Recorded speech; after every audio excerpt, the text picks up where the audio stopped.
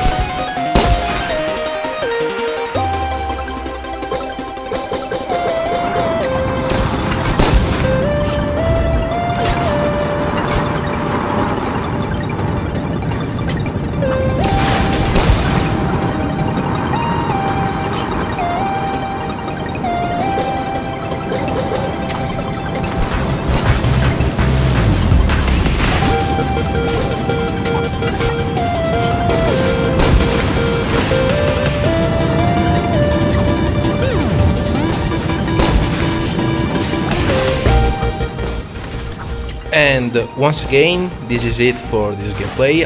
If you liked it, consider subscribing to the channel and leaving a like support. And I will see you guys in the next video. See you guys.